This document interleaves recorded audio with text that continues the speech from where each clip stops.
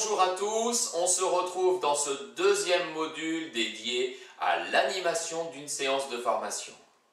Au module précédent, nous avons vu combien installer une communication efficace était nécessaire pour la réussite de votre action de formation.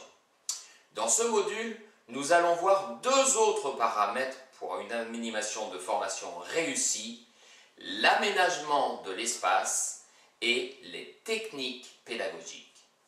En effet, nous verrons combien l'aménagement de l'espace peut faciliter ou entraver vos animations. Comment aménager son espace? Quel aménagement pour quel objectif? L'aménagement est-il évolutif? Autant de questions auxquelles nous tenterons de répondre dans ce module pour ensuite découvrir ce que l'on appelle les techniques pédagogiques, c'est-à-dire les diverses situations que le formateur peut mettre en place pour optimiser la participation de ses apprenants et animer le groupe.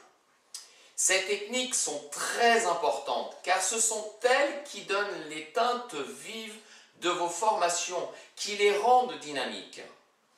Découvrez-les, essayez-les, aménagez ces techniques, ce sera la meilleure manière de vous les approprier. À la fin de ce module qui dure approximativement 5h15, vous devriez être en mesure de choisir une technique pédagogique en adéquation avec l'objectif que vous visez et d'organiser votre espace de formation de manière à faire vivre cette technique de façon optimale auprès de vos apprenants. Alors amusez-vous et bon courage